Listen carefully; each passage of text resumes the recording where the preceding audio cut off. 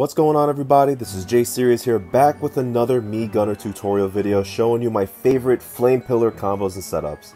As always, please make sure to like and follow my social media outlets, and without further ado, let's get right into it. Why so? Please don't say it again.